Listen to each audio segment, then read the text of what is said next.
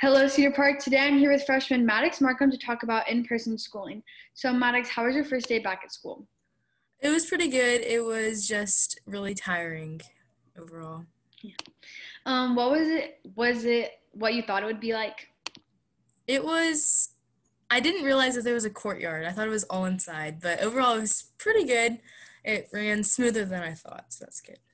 That's good. Um, why did you decide to go back to school if there was a reason? Um, I wanted to go back whenever everyone was going back, but then my parents made me stay on to go in person. Um, and with this being your first year in high school, has it been hard adjusting since you didn't get to do it as previous classes have? It was easier than I thought, but it was pretty difficult from going from middle school to high school. Yeah. What would you say the biggest, if there's like been the biggest challenge, like what would you say that's been?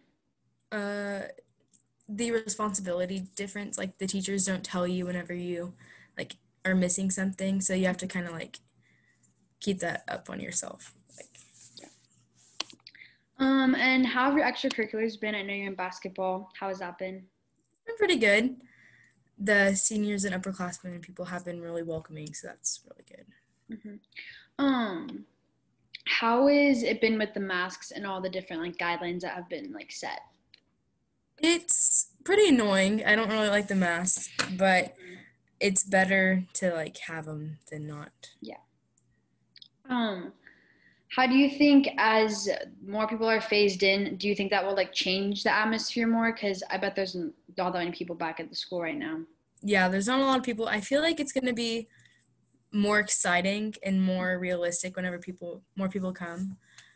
Yeah. well, thank you so much. Of course.